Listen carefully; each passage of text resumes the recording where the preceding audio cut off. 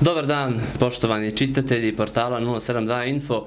Dobrodošli u novu sezonu emisije 072 Podcast, prvog i jedinog projekta ovog tipa na području Zeničko-Dobojskog i Srednjobosanskog kantona.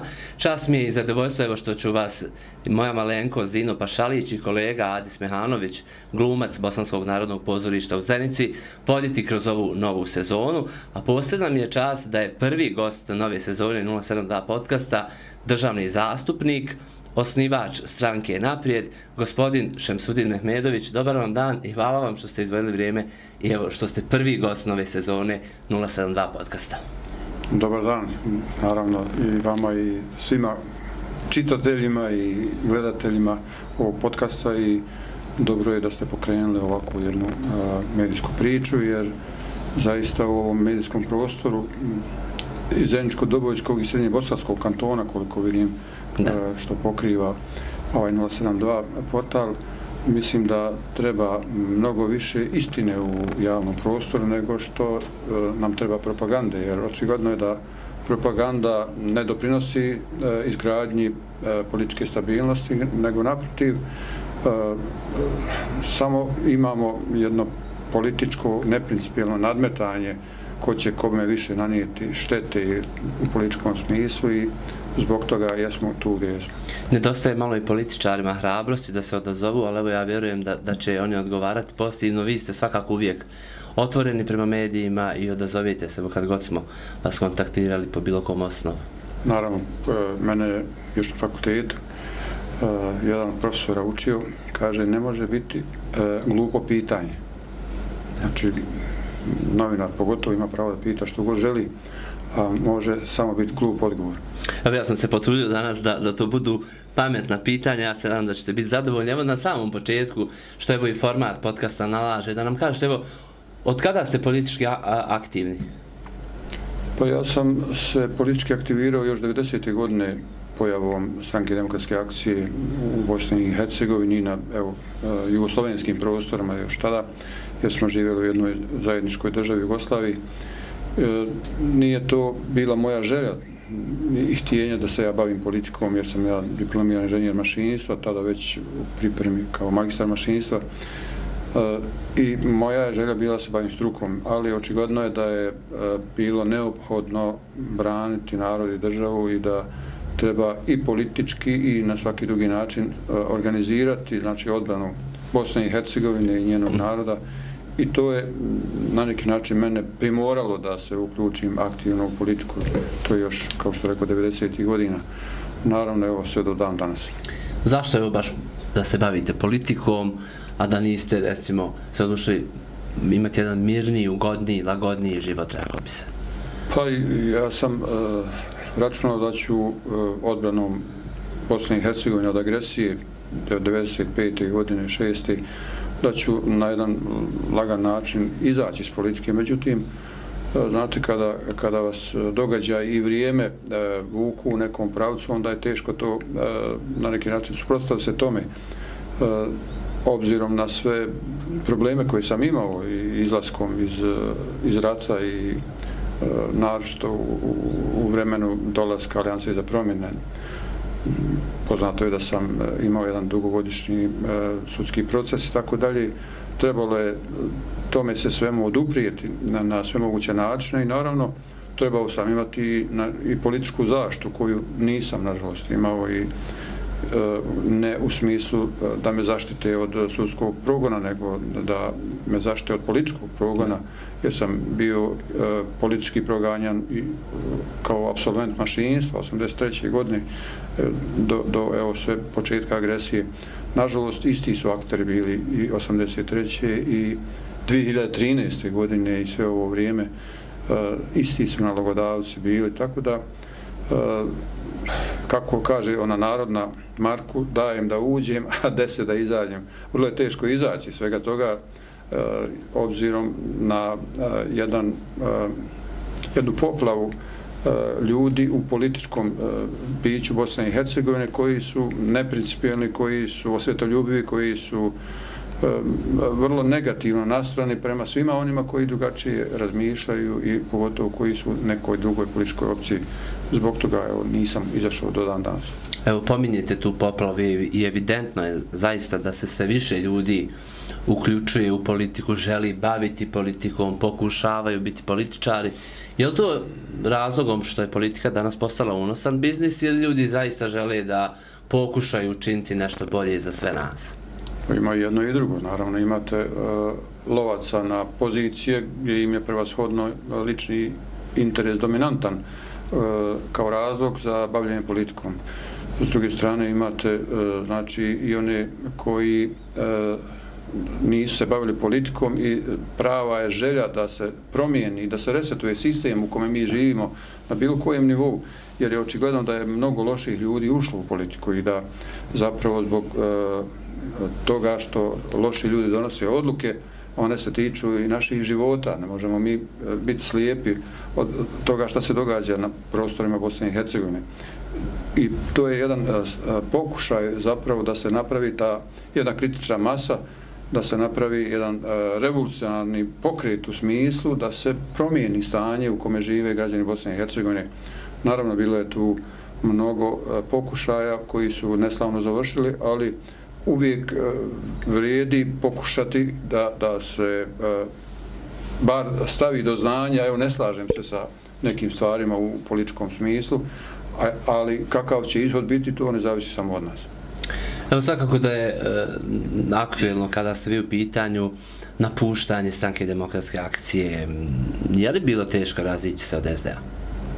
Pa naravno, ja sam, kao što rekao, prvi put u životu počeo se baviti e, aktivnije politikom pojavom stranke demokratske akcije i to je stranka koju sam ja osnivao u regionalnom smislu, evo, regije nekadašnji doboj, e, koju sam njegovao, čuvao, štitio, gradio, izgrađivao i tako dalje. E, uz sve one poteškoće i probleme koji svaka politička stranka ima i svaki politički pokret i stranka demokratske akcije je bila zaista jedan svenarodni pokret.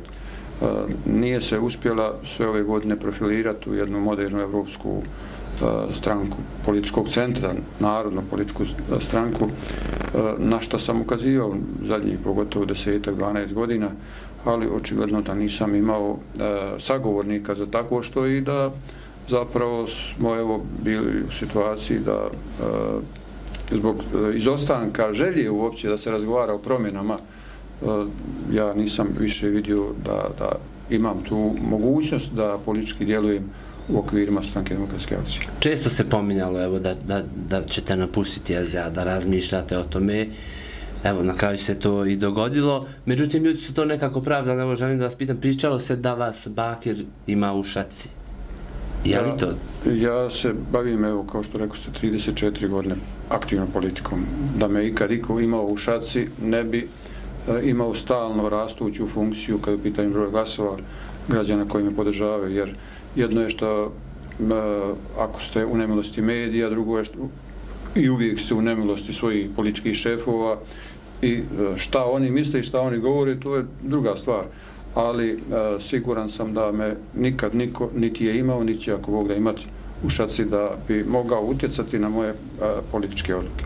Stoji li iza Šemsudina Mehmedovića neka moćna ruka, da to tako nazovemo, jer se uvijek zaista otvoreno i direktno kritikovali dok ste bili u SDA sve njih, ili su stvari te moćne ruke ljudi koji vas podržavaju u toj mjeri? Najmoćnija ruka u politici je broj glasova, građani koji vas biraju i oni u konačnici daju svoj sud o tome da li ćete vi nastaviti svoje političko djelovanje ili ne. Prema tome, e, to je ta moćna ruka i e, ja sam to imao priliku da nekoliko put kažem javno, jasno i glasno da mi je važnije šta građani misli o meni nego moj politički šef ili predsjednik, kako ga tako zovemo. I što nije bilo pravo u tom momentu imam predsjedniku, ali to je jedna politička istina i ako hoćete da se bavite politikom, znači trebate uvijek imati na umu šta običan bosanski čovjek misli. Ako to imate na umu, siguran sam da, će, da, da ćete, e, i ako napravite neku grešku, da ćete imati e, eh, podršku ljudi, jer ljudi oproste grešku ako ste iskreni prema njima i ako im kažete da, pogriješio sam, šta sad. E, tako da, građani su ti koji daju konačno sud o svemu tome.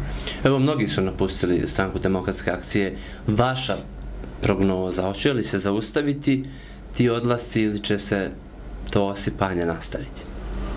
Pa, zavisi od motiva zbog čega ko odlazi iz eh, bilo koje političke stranke. Znači, ako su eh, motivi lični naravi, onda eh, ako se ne ispune očekivanja, ljudi od, od, budu u jednoj stranci, odu u drugu, ne, ne ispune se očekivanja u drugoj, u treću i tako dalje. Eh, ja mislim da ne treba od tim gubiti vrijeme, ali eh, obzirom da eh, je stranka demokratske akcije stranka poprilično izgrađene infrastrukture, znači u Bosni i Hercegovini, ona će sigurno imati svoje mjesto u političkom životu Bosne i Hercegovine i u narodnom periodu. Zavisno od toga kako rukovodstvo bude e, vodilo e, strategiju znači e, politik i politike stranke, zavisno od toga, od toga će zavisiti da li će određeni značajniji kadrovi ostajati ili napuštati stranku. Prema tome, e, ja ne vidim u tome ništa loše, jer mi smo društvo koje je u sazrijevanju, u izgradnji, u reformi, u svakom pogledu i naravno kako se budemo približavali Evropskoj uniji, e, to će iziskivati reformu i političkog sistema Bosne i Hercegovine, što podrazumijeva da ovakav način političkog organiziranja koji je e, čisto na, na etničkom principu i ja mislim da nema budućnost ako želimo da Bosna i Hercegovina se sačuva kao jedno multietničko društvo morat će se znači praviti taj e, prelaz e, preko tih etničkih zidova koji su nažalost e, ojačani e, pojavom evo, nekih ekstremno desnih političkih faktora u Bosni i Hercegovini koji sebe nazivaju socijaldemokratama i nekim narodnim strankama, a u suštini su politički sateliti naših susjeda koji evo sve ove godine čine štetu ne samo državi Bosne i Hercegovine, nego i građanima koje oni pod navodnicima imaju ambiciju da predstavljaju. Jeste li vi zažalili što ste napustili SDA? Evo sad kad gledate, iako je proteklo kratak je vremenski period, možda da se to govori, ali evo možda i nije. Pa nisam zažalio jer ja, kao što sam rekao, razlozi zbog koji sam ja otišao su krupni razlozi i nisu to personalna neslaganja, nego se radi o ideološkim neslaganjima i ja mislim da e, meni u tim okvirima više nije bilo mjesta. E, ja želim, to vam je koji u futbalu, znate, igrate za određeni klub, ne. E, očigledno da možda centar half u određenom klubu dođe neki mlađi, možda bolji možda pametniji, sa više znanja i tako dalje, onda morate potražiti neki drugi klub, ako ne, onda evo organizujte futbalski klub, da tako kažem, uz sve poteškoće samog začetka mm -hmm i naravno igrajte u, onoj ligi u kojoj vas građani budu predložili, odnosno zavisno od toga kakvu predstavu budete napravili e, građanima Bosne i Hercegovine i kakvu i što ono što građani Bosne i Hercegovine budu vidjeli u vama, da budu, ako budu vidjeli snagu, e, e, ako budu vidjeli jas, jasne političke ciljeve, ako budu vidjeli neku, neku nadu za bolje sutra, onda će sigurno vas podržati i igraćete u prvoj ligi, ako ne, onda ostaćete ili ćete ispadati dalje i tako dalje. Zašto stranka naprijed? Je li bilo možda nekih drugih ponuda prema vama kada se već evo, kad je bilo izvjesno da ćete napustiti SDA? Ma, ja nisam nikad razmišljao da pređemo neku uh, postojeću političku stranku zato što uh, sve političke stranke imaju neke E, hipoteke koje ih opterećuju. Imaju svoje e, profile, profilisane politike koje ne odgovaraju e, mom nekom viđenju politika u Bosni i Hercegovini ili su ekstremno lijeve ili ekstremno desne.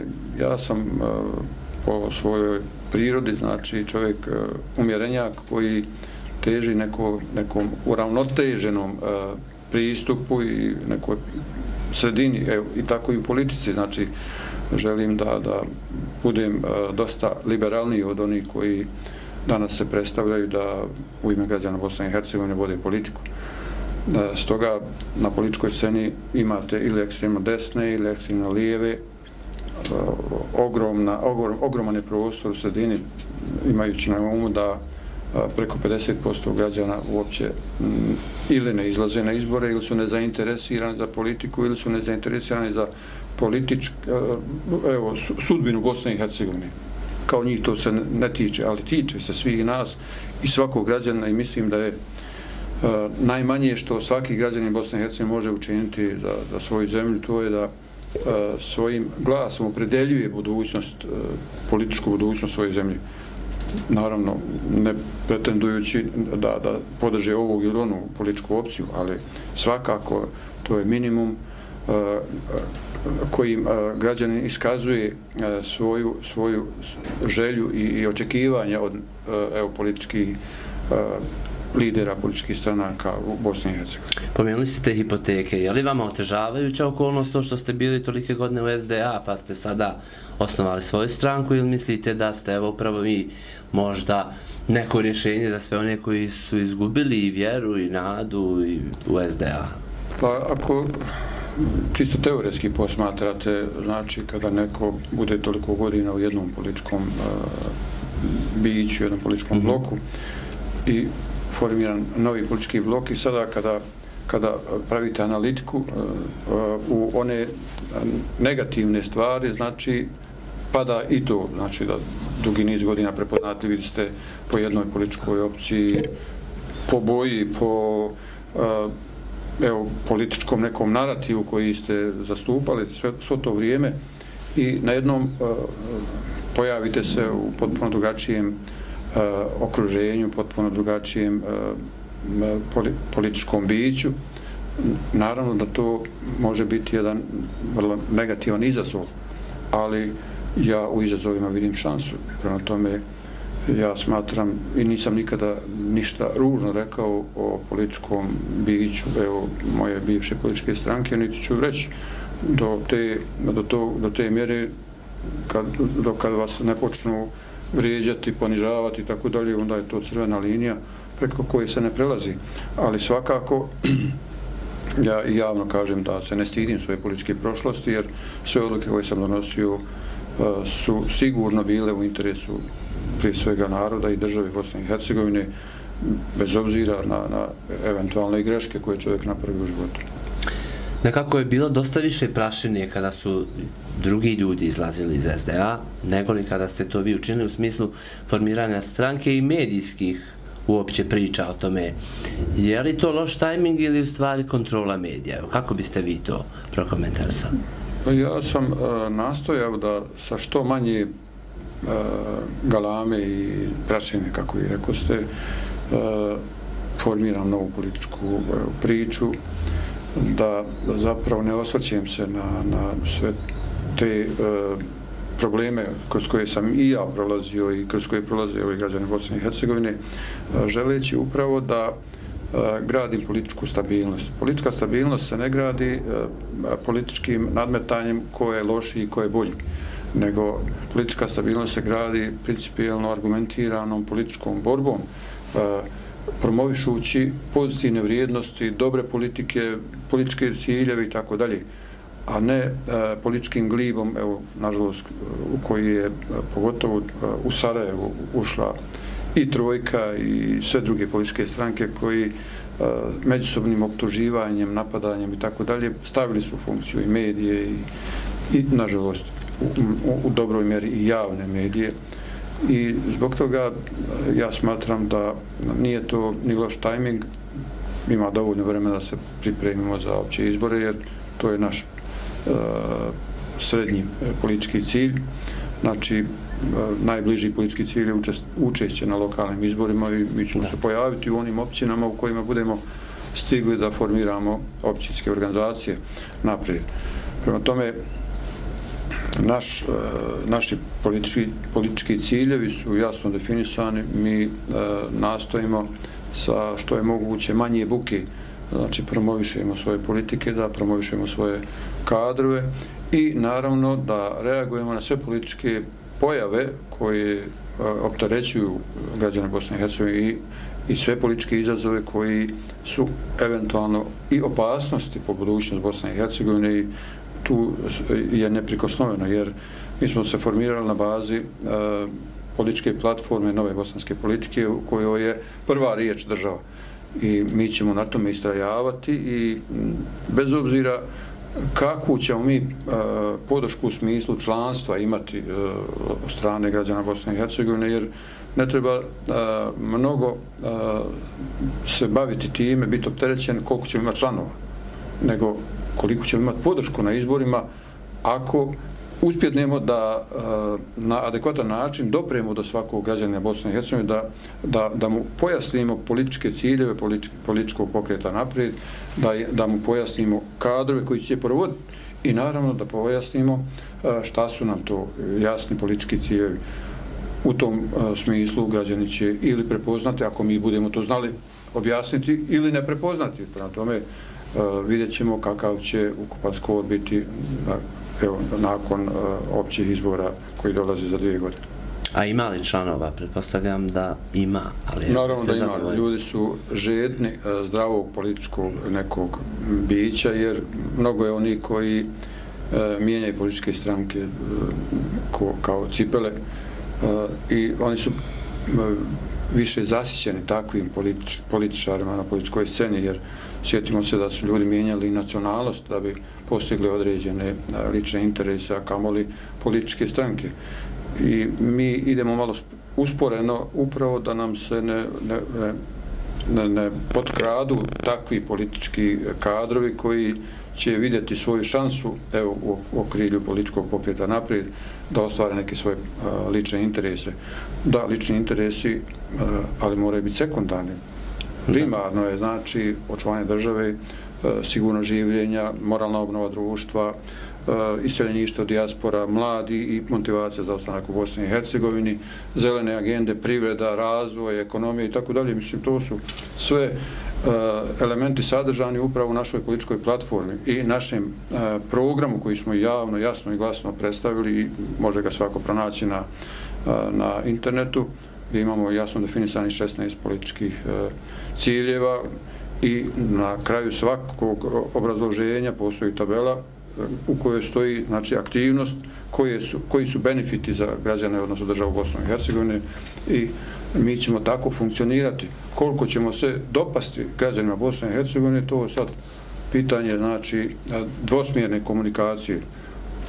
Ja sam optimista obzirom na e, opću podršku nismo naišli na, na negativan otklon e, e, šire društvene zajednice, niti smo naišli da, na, kod bilo koga da da nam uh, osporava bilo koji politički cilj. Da. Naprotiv, svi to podržavaju, jer sad pitanje je znači koliko ćemo uspjeti da skupimo jer mi imamo ambiciju da napravimo politički savez snažan bosanski politički savez koji će odgovoriti svi tim izazovima.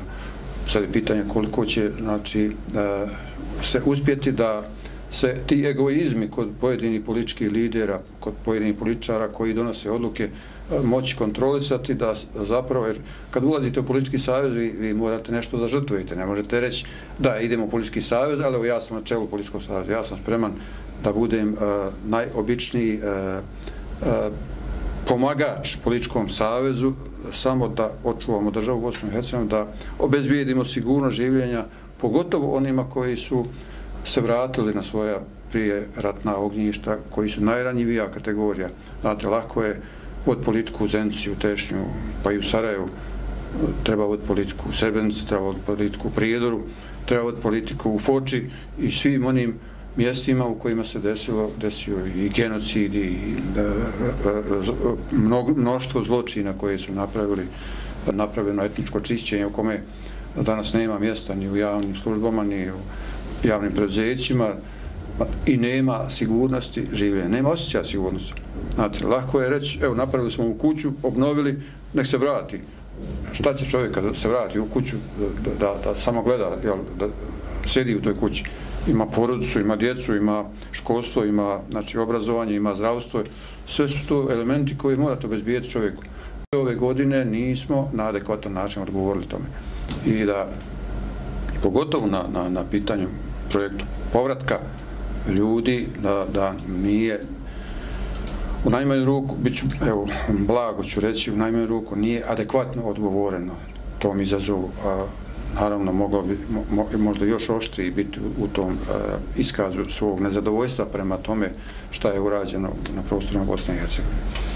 Evo kazali se da je nekako jedan od e, najbližih e, prioriteta ciljeva stranke, evo i ovi predstojeći lokalni izbori, oni su nekako najbliži. Hoćete li imati kandidate za načelnike, gradonačelnike, evo kad govorimo pa Zeničko-Dobojski kanton, ali evo uopće? Pa kao što rekao, e, prevashodno e, da se ne bi politički uprljali nastojaćemo da podržimo nezavisne e, kandidate za načelnika. Znači da se ne identifikujemo sa bilo kojom političkom opcijom gdje je to moguće. Na primjer, evo, u Srebrenici ćemo imati znači, nezavisnog kandidata kojeg ćemo mi podržati obje ručke jer živi u Srebrenici, dijeli dobro i zlo Srebrenice. Prema tome, bez obzira ko će biti uh, e, drugi, s druge strane. Uh, u nekim općinama ćemo imati, znači, uh, gdje smo napravili snažnu strukturu stranačku, imat ćemo i svog kandidata i sa ozbiljnim namjerama da pobjedimo na izborima. Zenica? U, u nekim općinama nismo još ni formirali, evo, Zenici je, koliko znate, danas osnivačka skupština i nisam baš uh, siguran, obzirom da su već rokovi za, za da. Prijava za, za cen, prema centralnoj izbornoj komisiji već u toku, nisam siguran da ćemo uspjeti uh, znači, formirati, jer, znate, nije jednostavno, ne možete uzeti sad kadar sa ulice i reći, evo, vi ste kandidat za načelnika ispred. Hoćete li onda podržati Fuada Kasumovića? Generalno, znači mi u, u nedelju imamo uh, predsjedništvo stranke gdje ćemo donijeti uh, političku strategiju o nastupima na lokalnim izborima. Prema tome, uh, za svaku općinu ćemo imati varijantu, imat ćemo, gdje mi imamo kandidata gdje ćemo podržati tu, e, kandidata iz druge političke stranke, gdje ćemo reći nećemo podržati nijednog kandidata, nego prepuštamo našem članstvu i simpatizerima i građanima to sebi izaberu ko je najbolji. Prema tome Zenica je specifična i e, ja mislim da u Zenici, kako sad stvari stoje, da su prilično jasne u pogledu i ko će biti sve kandidati, Nema nezavisno, koliko je... sam ja pročitao, pa zato pitam. I ja nisam došao do saznanja, a to još ne znamo zato što su u fazi da. kupljanja potpisa.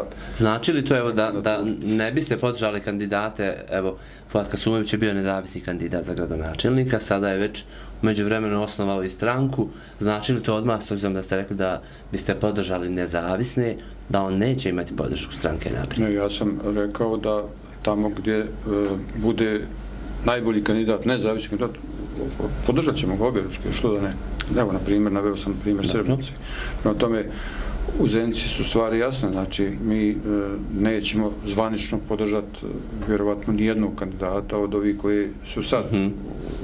u, u opticaju, tako da šta će se desiti umeđu vremenu, možda budemo i mi imali kandidata, Vidjet ćemo. Za vijeća lista, pretpostavljam, u Zenici, hoćete li to stići? Naravno, to ćemo pripremiti. Mi želimo da naša lista odiše kvalitetnim kadrima koji su neiskvareni, koji nema iza sebe bilo kakvih afera, repova, tako kažem, i koji uh, ulivaju nadu građanima Zenici da, da zapravo uh, da će se one, uh, oni lokalni problemi koji tište i sve građane Zenici početi konačno rešavati, početi od, od čelika, čistoći, E, grijanja, i, i, infrastrukture i tako dalje, sve ono što, što tišti svakog građana na lokalnom nivou, da će konačno početi to da funkcionira u punom kapacitetu. E, naravno da, da e, ne možete, kad, kad imate političku nestabilnu većinu, onda je vrlo teško to sve organizirati, ali Zenica je što se tiče političke stabilnosti na lokalnom nivou prilično stabilna. Ja ne vidim tu razloge da, da se ozbiljnije ne krene u rješavanje problema. Pokušali ste, evo kad pominjemo gospodina Fuada Kasumovića, praviti sad njim politički dogovor 2018. godine sa tadašnjim nezavisnim blokom, odnosno bili ste pozvani da da činite, da zajedno pravite neku priču, ali ste to na kraju ipak odbili. Zašto? Evo? Pa, ja, eh, odgovor je na prethodno pitanje koje je eh, bilo upućeno meni zašto jesam li imao poziv od drugih političkih stranaka. Na tome ja ne želim da nosim ničije hipoteke. I to je odgovor na, na to pitanje. Na tome ja uh, podržavam sve političke projekte koji će donijeti dobro građanima Bosne i Hercegovine, koji će biti jedan politički iskorak naprijed, ako tako mogu reći. E, zbog toga smo i nazvali ovaj politički pokret naprijed, jer zaista želim tako da, da, da se ljudi e, ponašaju u političkom biću Bosne i Hercegovine, pa evo i na lokalnoj ovo, da ne budu prevashodno lični interesi, talovi, a mnogi su u talovima i unutar političkih stranaka i, i između političkih stranaka. Tako da ja želim da zaista e, oni koji e, su javni radnici budu odgovorni, da, da se odgovorno ponašaju i u životu i u poslu koji i povjerenim dužnostima koje obnašaju. Naravno, e, možda je to idealan pristup, ali, ali u, realnom e, prostoru, e, ako budemo e, uključivali što je moguće više čestih ljudi, onda to više neće biti idealistički pristup, nego će biti real. Pominje se evo uvijek, ali evo sad u posljednje vrijeme posebno, kako Šemsudin Mehmedović ima svoje ruke u Skupštini Zenčko-Dobojskog kantona, a upravo bi te ruke mogle biti ključne za neko novo preslagivanje e, aktuelne većine u Zeničko-Dobojskom kantonu. Evo, imate li vi te ruke? Ja Zvanično su one SDA, ali, ali evo, ja, sam, ja govorim ja kako se u javnom prostoru priča. E, političke stabilnosti. Dobro. Oko koga će se uh, okupiti uh, većina, to je manje važno ako gledamo sada u to nekom političkoj većini. Evo imali smo mi i prethodnu političku većinu oko SDP-a i Fuada Kasnovića, evo sad imamo oko SDA. Uh, nema tu puno razlike, iskreno ali e, ljudima treba dati šansu i vrijeme da, da pokažu šta znaju. E, prema tome nisam zagovornik e, bilo kakve političke destabilizacije, ali ja koliko sam čuo već se nazire neka nova parlamentarna većina u Zeru kantonu, ja im svakako želim sreću. Neka, A ima li tu vaši drugi? Neka, neka rade svoj posao i ne budu odgovorni prema građanima evo, Zemničko-Dobojskog kantona. Dobro, vidim da mi izbjegavate ovo odgovoriti. Možda ćete mi e, kazati šta je sa Idom Baručija, govorilo ste da bi ona mogla preći u naprijed. Pa Ida Baručija je u političkom subjektu Fuada Kasumovića i Aida Baručija je kolekcija zastupnica, radi svoj posao odgovorno i možda će posle izbora e, formiran neki klubova i tako dalje, mhm. koji možda budemo dijelili zajedničke vrijednosti, zašto ne? ja mislim da svako onaj ko želi dobro Bosni i Hercegovini, dobro došao je. I možemo napraviti klub koji je snažniji od HDZ-a u zastupničkom domu, možemo, to nije sporno, ali je samo pitanje, znači, da li će, kao što sam rekao u jednom od predvodnjih odgovora, da li će ti egoizmi nekih političkih lidera nadvladati ili će opći interes? Svojevremeno ste bili ministar unutrašnjih poslova i tekako uspješan ministar. Evo, e, trenutno je e, kadar SDA, ministar unutrašnjih poslova ženskog dobeskog kantona. Evo, e, objasnit ću malo poslije zbog čega ovo pitam. E, kako ste vi birali svog savjetnika kao e, ministar kojeg treba neko da savjetuje? Da li, da li ste tu gledali kompetencije, kvalitete?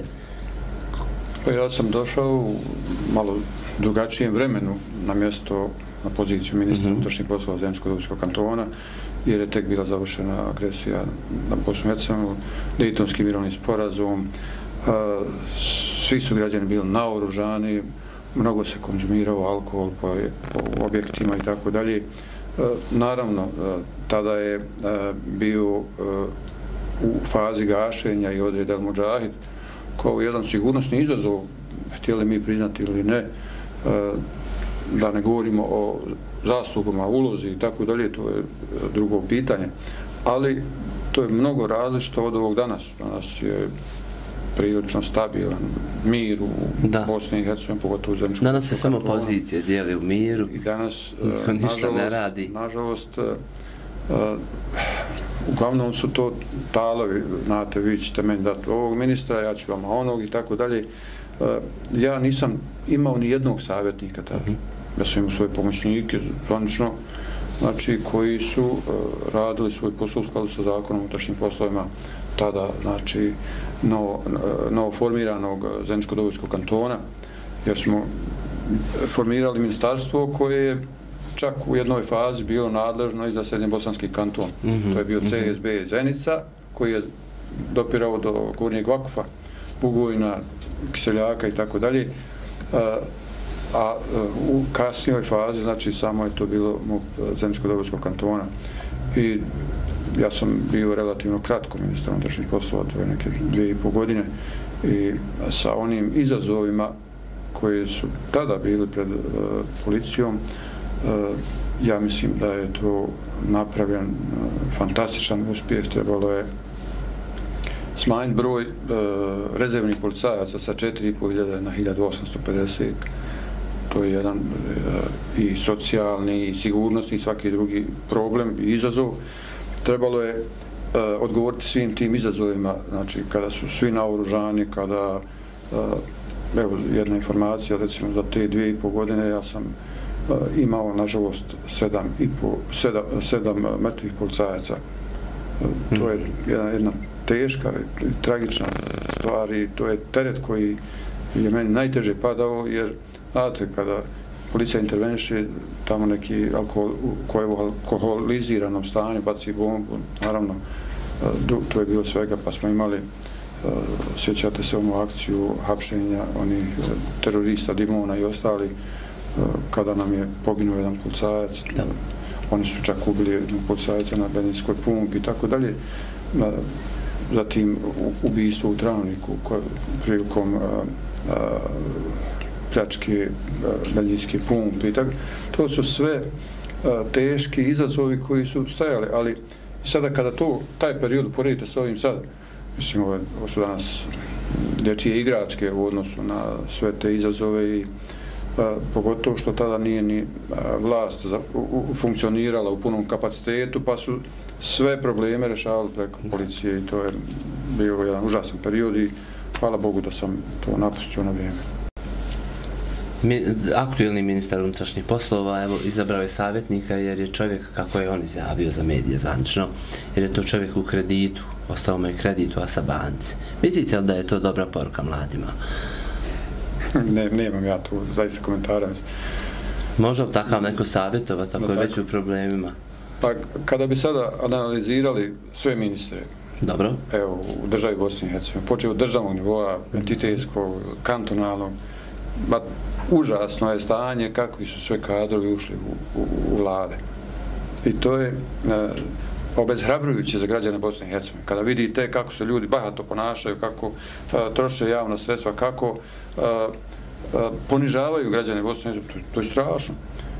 Evo, ja sam se svoje vremeno bavio analizom etničke zastupljenosti u mhm. institucijama Bosne i Hercegovine i izašao sam javno na preskonferenciju da je, recimo, u institucijama Bosne i Hercegovine manjak bošnjaka od nekih 800, između 800 i 900.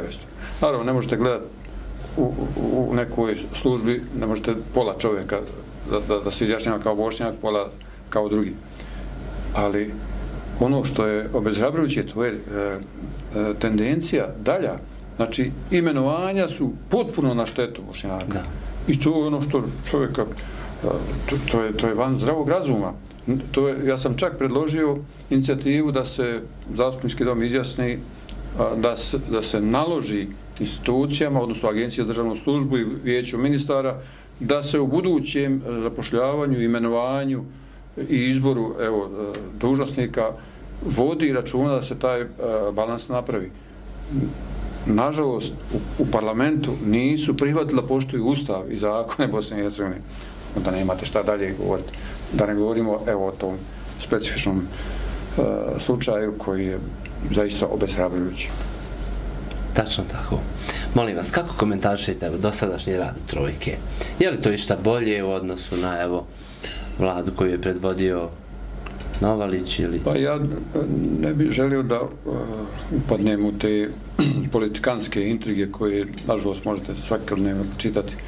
Uh, Novalić je bio jako uh, dobar premijer, iskreno.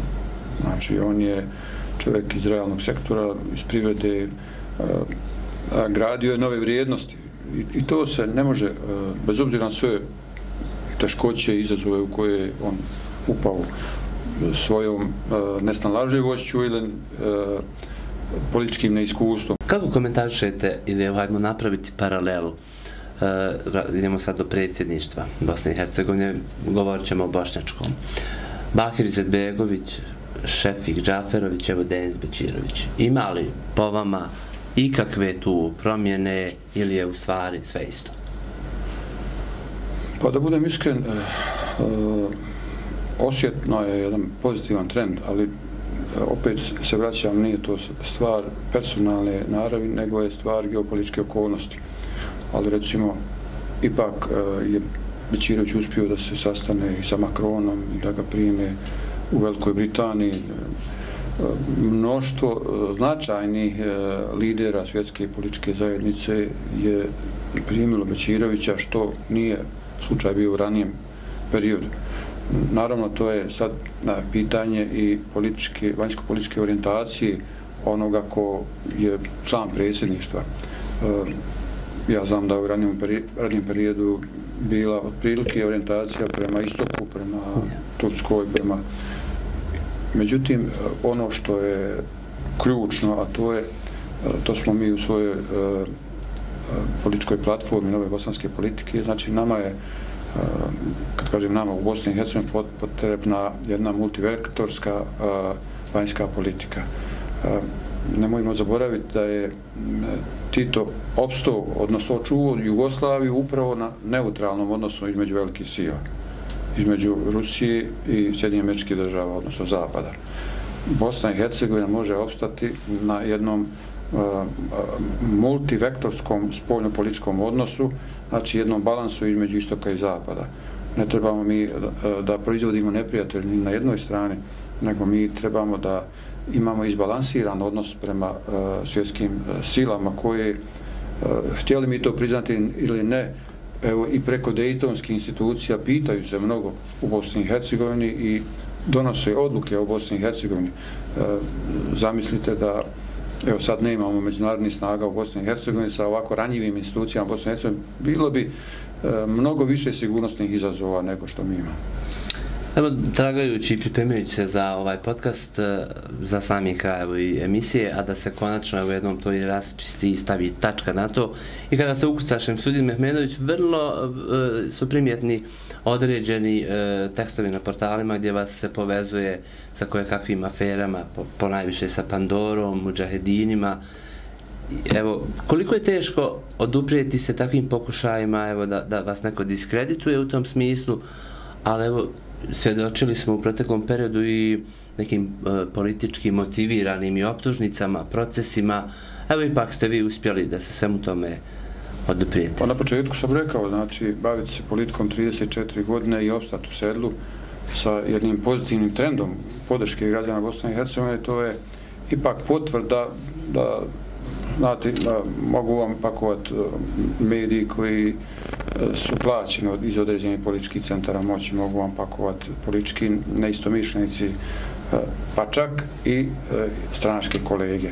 Jer u jednoj gradaciji možda je malo ovako tragikomično da kaže postoje gradacija neprijatelja, postoje neprijatelji, postoje zaklijeti neprijatelji, postoje krvni neprijatelji, postoje stranački kolege. E, tako da je to zapravo jedan odgovor na to. Ja sam imao, naravno, baviti se politikom i uh, učinio sam samog sebe dostupno svakom običnom bosanskom čovjeku. Imao sam uh, smiješnih situacija da čovjek dođe i traži od vas pomoć u smislu formalno pravne zaštite, u smislu jednog pravednijeg rješenja, u smislu i naravno onda u, kroz razgovor tražeći rješenja padne vam na pamet svih ti e, mogućnosti šta, šta se može uraditi da se čovjek zaštiti. A onda nakon 10 ili 20 dana vas optužuje na socijalnim mrežama, znate, ovaj, to isti čovjek, znači on, ne znam, ja, interveniše na, na tom i tom mjestu preko toga i toga i tako dalje. Mislim, to su smiješne stvari. Je li teže zbog tih društvenih mreža danas se baviti politikom kad svako može da napiše šta želi, pa bilo to tačno ili ne? Pa, znate, danas s pojavom društvenih mreža, one su evo, od, od nekih 2000 možda, eto recimo 2000 i neke godine u Bosni i Hercegovini aktivne. Uh, niste znali s kim imate posla dok se čovjek iza lažnog profila ne predstavi. Da. Sve te svoje frustracije kad on iznese u javni prostor, onda znate zapravo s kim imate posla. Ali društvene mreže su jako e, koristan e, alat za, e, da, da, da dopre vaš glas do svakog čovjeka, odnosno da svaki čovjek može da vam kaže ono što misli i naravno na jedan kulturan način, zanemarujući sve te e, šumove, ja to zovem šumovima, ljudi koji liječe svoje frustracije i bolesti, da se ređaju, ponižavaju i tako dalje, zapravo to u, u nekom e, smislu svaki čovjek je ogledalo i kada ti pokušaš da, da, da o drugom čovjeku govoriš, zapravo ti iznosiš svoje osobine koje vidiš u da. tom ogledalu. Tako i te bolesne e, frustracije koje kod određene ljudi, ja ne smatram ništa ozbiljno, ali naravno nisu nezanemarive i treba im se suprostavljati kada to pređe granicu je lijepo ponašanje. Tako i te, e, gledajte, ja sam imao situaciju da sam bio općinski vijećnik. 90. godina na prvim demokratskim izborima prošao sam kao općinski vijećnik u općinskom vijeću Tešenik. Tada je po porodičnom zakonu eh, općinski vijećnici su pristupovali venčanjima mm -hmm. znači eh, građana te općine. I ja sam pristupovao u određenom broju venčanja gdje su bili vjenčavani strani državljani i onda mogli vas lijepo član predsjedništva Bosne i Hercegovine eh, sad da sam ja bio eh, bezobrazan i drzak, mogu sam i eh, poniziti u smislu evo, šta je ona radila prije nego što je postala e, premijerka manjih BH ili tako dalje. Ali ona sad to kao da ja sam bio njima kum, nisam ja kum, ja sam e, poštivo zakon. Ključno je u svemu tome i opstaćete sigurno što je moguće duže u političkom sedlu ako se držite slova zakona. Sad sa ove pozicije, kad pogledate, dok sam bio ministar unutrašnjih poslova, e, tada su bili drugačiji zakon, unutrašnjih posao, drugačiji su danas. Znate, tada je ministar imao mnogo veća ovlaštenja, jer nije bio komesar, bio je pomoćnik za policiju. Tada je i ministar bio ovlašten u službeno lice. Danas nije, danas je ministar političko lice i nema pravo da se petlja u bilo kakve istrage i tako da. Nažalost, danas nam je sve obojeno politikom, posebno evo kod nas. Mi smo eh, u proteklom periodu, i to je ono što, što je pogubno, eh, sve što nam predlažu stranci, mi to prihvatamo, Bjanko da je to dobro, nije. Ja sam u svoje vrijeme imao određene posmatrače koji, s kojima smo redovno imali briefinge sedmične, UN posmatrače, S4 posmatrače i tako dalje možete zamisliti, iz, iz Gane smo imali Da i sad e, o, o demokratskom e, radu policije da nama čovjek iz Gane priča. Mislim, to je ponižavanje, ali on je imao mandat da razgovara s vama. Tako da, e, ključno je bilo, pogotovo u zadnjih nekoliko godina u Zedu kantonu došlo je do intervencija i na zakonu o tražnim poslovima, koji, kojim se krši e, znači, nezavisnost u radu policije i to će se morati ispraviti kad tad. Nije slučajno što je Djedo Kanton bio i pod navodnicima crnoj listi američke ambasade, ali te stvari se moraju ispraviti. Da li se to one, one e, sviđale nama ili ne, one se moraju ispraviti zbog građana Zemljičkog dovoljskog kantona, zbog nezavisnosti u radu policije. Znate, svi se, svi se ubiše govoreći kako su nezavisni, od koga? Znači, mi, vi morate biti zavisni od e, zakona, od ustava i zavisni od e, mišljenja građana. Znači, ako građani nemaju osjećaj sigurnosti, a možete i meni pričati koliko god hoćete da, da vi radite dobar posao, ne radite. E, danas se i živući policajci u Zedu kantonu koji su bili u, u vaktu, evo, 96. 98. kad sam bio ministar, znači, rado se sjećaju tog perioda jer svaki policajac koji radio profesionalno, pravedno, postupao zakonito, to bio je nagrađen. A svaki koji je kršio pravila i principe, e, bio je kažen. I to, to je bilo jasno kod dan, i, ali sve što im je trebalo za jedan profesionalni rad, imali su na raspolaganju. I bili su dobro plaćeni, imali su uniformu, imali su opremu, imali su vozila, sve što im je trebalo. Ali očigledno je da se na svemu tome danas pokušava prigrabiti neki politički pojen. Ja tada sam svojski radio i okupio sam ekipu stručnjaka, nisam ja, ja sam mašinac, nisam ja policijski stručnjak, znao sam iskoristiti znači, pamet drugih ljudi i napravili smo jednu dobru priču koju, koje se rado sjećaju evo i dan danas. I evo na samom kraju e, ostavili smo i neka pitanja koja su vam naši čitatelji e, poslali, pa evo, malo su bili direktniji nego sam to odlučio ovaj put biti ja. Pozdrav iz Velike Kladuše. Dževad Halila. Plan SDA Velika Kladuša. Da li gospodin Šemsudin Mehmedović planira okupljati istomišljenike iz svih političkih stranaka na nivou BH koje su nastale iz biračkog tijela SDA ili planira surađivati samo sa sadašnjim članovima i simpatizerima SDA? Pa to je kontradiktorno pitanje. Znači, e, ja pokušavam da napravim strukturu čestitih ljudi, pa i u velikoj kladuši. Ja se nadam da ću napraviti tamo jednu dobru priču koja će biti e, embrion za pomirenje e, znači tog našeg među, e, međunacionalnog sukoba koji se nažalost desio. E, ja želim da, da se prije svega tamo riješi pitanje Fikreta Ablića i da se jednom za svak da to stavi ad acta. I naravno da ću e, moja ambicija i politička platforma nove bosanske politike, ako ste bili u prilicu da je pogledate, na zadnjoj stranici ima znači uh, izgradnja političkog saveza. Da. I to je znači ključni politički izazov koji stoji predavno. Koliko će ja u tome uspjeti ne zavisi samo od mene, znači zavisi od sagovornika. Omer Žilkić kaže šta je za ovih 30 godina uradio za ovu državu i građane BH osim za građane Tešnja i stranku SDA? Pa, ukoliko prati u javnosti šta radim, ja sve svoje aktivnosti javno obznanjujem, prema tome, evo, savjetujem gospodinu Omer, jel Omer yes. zove, da pogleda, ima na Facebook profilu, nek se vrati nekoliko unazad, od kako postoji Facebook, znači, ja sam imao skoro pa dnevne obavijesti šta sam radio, koliko sam radio na očuvanju države Bosne i Hercegovine i svih, evo, njenih institucija i naravno, nisam ja samo radio za građane Tešnje, ja sam radio za sve građane Bosne i Hercegovine. E, nimalo mi nije mrsko da sam e, jedan od ključnih e, ljudi na izgradnji tog e, privrednog ambijenta za, za razvoj privede u Tešnju, jer je Tešnj e, u bivšoj Jugoslaviji bila, bio, bila jedna od na, najnerazvenijih općina, da. a danas je primjer e, pozitivnog trenda u najmanju ruku i E, E, moja želja je da, da evo, i to će biti sadržano u političkoj platformi za lokalne izbore, to zapravo taj tešanski model preslikamo svaku općinu u kojoj je moguće to preslikati, naravno uvažavajući specifičnosti svih općina. I prema tome to će biti jedan moj e, doprinos evo svemu tome.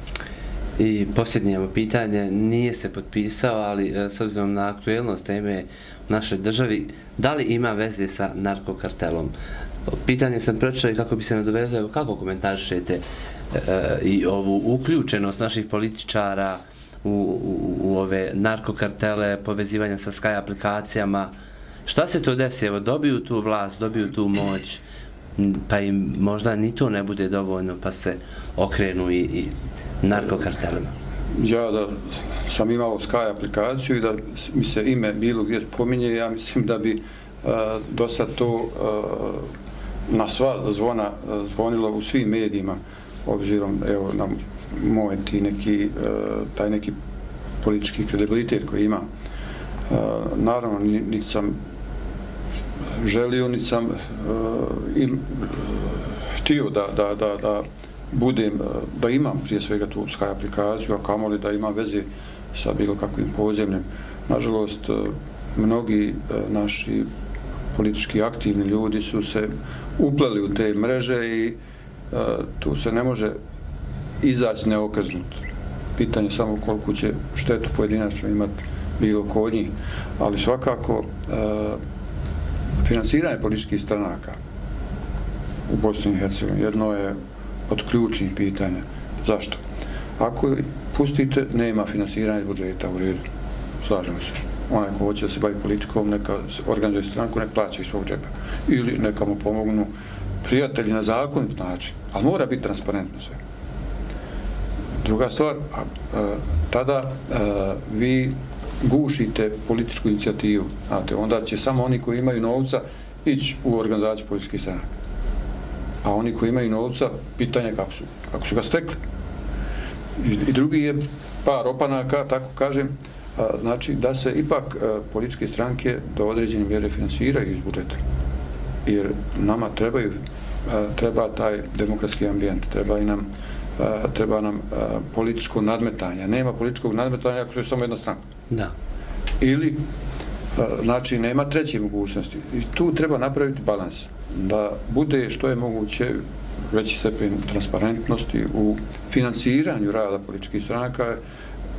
Nažalost, naša centralna izborna komisija je nadležna samo e, za vrijeme evo, e, izbora, izbornih kampanja i zaista oni vode računa o svako, svakoj konvertibilnoj marki. E, međutim, političke stranke su prepuštene same sebi i da zapravo snalaze se u tom političkom ambijentu da da obezbijede sredstva i nažalost mnogi su posegli za nekim crnim fondovima koji evo danas izlaze na vidjelo morat će platiti cijenu za tako što. Državni zastupnik, osnivač stranke Naprijed, bio je prvi gost nove sezone 072 podcasta, gospodine Mehmedoviću. Hvala na izvedenom vremenu. Hvala vam.